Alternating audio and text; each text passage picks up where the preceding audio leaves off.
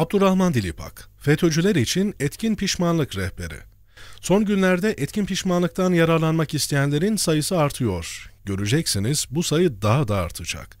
Önce şunu hatırlatayım. Siyaset, yerel yönetim, STK, şirket gibi kurumlarda, bürokraside bazı isimler seslerini kısmış bekliyorlar ya, sıra onlara da gelecek. Zaten bir kısmı biliniyor. Siyasi denge hesaplarıyla ilgili olarak onlara dokunulmuyor. Onlar da yerlerinden kımıldamıyor. Hatta kraldan çok kralcılık yapıyorlar. Çünkü biliyorlar ki renk verseler hemen biletleri kesilecek hain damgası yiyecekler. Bir kısmı hala aktif, gelenleri gidenleri var. Kendileri ortalığı toplamaya çalışıyor. Etrafları kuşatılmış vaziyette izleniyorlar. Aralarda ele geçirilip hala incelenmeyen dosyalar var. Sanıkların itirafları var. Her gün yüzlerce ihbar geliyor. Ve tabii etkin pişmanlıktan yararlanmak isteyenlerin verdikleri bilgiler var. Yargılama başladıktan sonra kişiler kendilerini savunurken çapraz sorguda anlatacakları çok şey var. Bunların arşivlerine girildi. Baylok kayıtları inceleniyor. İki kripto arasındaki konuşmada sizin de adınız geçiyor olabilir. Daha sıra o ipuçlarının izini sürmeye gelmedi. O ipucu sizi ele verebilir. Göreceksiniz bugün dokunulmayanlara da dokunulacak. Sıra onlara da gelecek. Bakın, yakanızı yargıdan kurtarmak istiyorsanız etkin pişmanlıktan yararlanın. Bildiklerinizi anlatın bu iş bitsin.'' verdiğiniz bilgiye göre ya ceza indirimine gidilir ya da tamamen serbest kalırsınız. Bakın sizden önce biri sizin verdiğiniz bilgileri vermişse size ceza indirimi filan olmaz. Biri anlattı diye siz aynı şeyi söyleyerek kurtulamazsınız.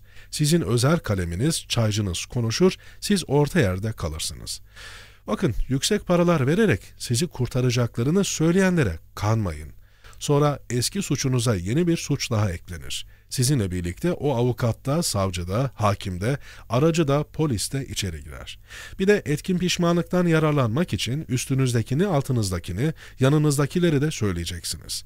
Üzerinizde örgüte ait ne varsa devlete teslim edeceksiniz. Para, gayrimenkul, bilgi, belge, emanet ne varsa onları da.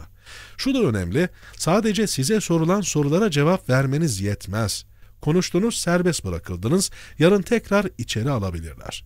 Açıklamadığınız, bilgi vermediğiniz bir konuda yeni bir soruşturma daha açılır, yine sanık olursunuz. Onun için size sorulmasa da bu konuda bütün bildiklerinizi anlatın. Hatırlamadığınız konuları daha sonra hatırladığınızda ek dilekçeyle sanık sandalyesine oturmadan siz beyan edin ki yeniden içeri alınmayasınız. Eğer açıkladığınız bilgiler ve verdiğiniz belgeler sebebiyle sıkıntıya girmekten korkuyorsanız o zaman gizlilik talebinde bulunabilirsiniz. Hatta gizli tanık olmak isteyebilirsiniz. O bilgi sadece sizde varsa ve o bilgi ortaya çıkınca sizin verdiğiniz ortaya çıkacaksa bu da sizi endişelendiriyorsa devlet bu konuda sizin için tedbir alabilir ve güvence oluşturabilir. Avukat Doğan bu konuyu şöyle tanımlıyor. Etkin pişmanlık kişinin işlediği suçtan dolayı özgür iradesiyle sonradan pişman olması, suç teşkil eden fiilin meydana getirdiği olumsuzlukları gidermesi ve ceza adaletine olumlu davranışlarıyla katkı sunması halinde atıfet hükümetlerinin uygulanmasını sağlayan bir ceza hukuku kurumudur. Birinci yöntem yargılanan kişinin soruşturma veya kovuşturma aşamalarında suç ortaklarını, suça yardım edenleri, azmettirenleri savcılığa veya mahkemeye bildirerek suçun ortak çıkmasını ve suç faillerinin cezalandırılmasını temin etmesiyle etkin pişmanlık hükümlerinden yararlanarak ceza indirimi almasıdır. Etkin pişmanlık hükümlerinden yararlanacak kişi, suça azmettiren, suç teşkil eden fiili doğrudan işleyen veya yardım eden kişilerden biri olabilir. Önemli olan verilen bilgiyle suçun aydınlatılması, suçun işlenmesine katılanların cezalandırılmasının temini veya varsa mağdurun uğradığı zararın giderilmesidir. Bakın bu ceza indirimi kamu davaları ile ilgilidir. Yoksa birine zarar vermişseniz, o kişi yarın çıkar sizin aleyhinize hukuk davası açarsa, onu da ayrıca tazmin etmeniz gerekir. Onun için kamunun vicdanında kendinize yer açın. Apaçık olanları anlatın, insan hata yapar, tövbekar da olur. Yeter ki samimi olalım. Yoksa milleti kandırmak için inkar ve saptırmaya sapmayalım. Bu FETÖ'cüler tek bir suç tipiyle suçlanmıyorlar. Doğrudan ve dolaylı olarak her suç tipiyle ilişkililer. Soru da çalıyorlar, kişilere zarar da veriyorlar, kamu kaynaklarını da istismar ediyorlar. FETÖ'cüler hangi suçları işlediklerinin farkında değiller. Sadece darbeye teşebbüs suçu ve etkin pişmanlık Türk Ceza Kanunu 312'den suçlanmayacaklar.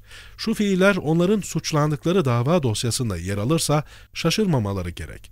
Kişiyi hürriyetinden yoksun kılma suçu ve etkin pişmanlık, bilişim suçları ve etkin pişmanlık, yağma suçu ve etkin pişmanlık, dolandırıcılık suçu etkin pişmanlık, hırsızlık suçu nedeniyle etkin pişmanlık, güveni kötüye kullanma suçu nedeniyle etkin pişmanlık, irtigap suçu ve etkin pişmanlık, zimmet suçu ve etkin pişmanlık, mala zarar verme suçu etkin pişmanlık, mal varlığı değerlerine karşı bazı suçların akrabalar arasında işlenmesi, rüşvet suçu ve etkin pişmanlık, iftira suçu ve etkin pişmanlık, hakaret suçu ve etkin pişmanlık ceza indirimi. Sonuçta zararın neresinden dönerseniz orası kârdır. Zaten bu adaletin gerçekleşmesi için bir şart. Bu bir erdem gereğidir. Kendileri kurtulmak ve suçluların cezalandırılmaları için bir zulmün aleti ve aracı olmak değil, adaletin tesisi için bir şeyler yapması gerek. Yakınları ve dost çevrelerin, avukatların bu konuda yakınlarını ikna etmeleri gerek. Yanlışta ısrar, dinleri ve dünyalarını mahvetmektedir. Karar sizin. Selam ve dua ile. Abdurrahman Dilipak, Yeni Akit Gazetesi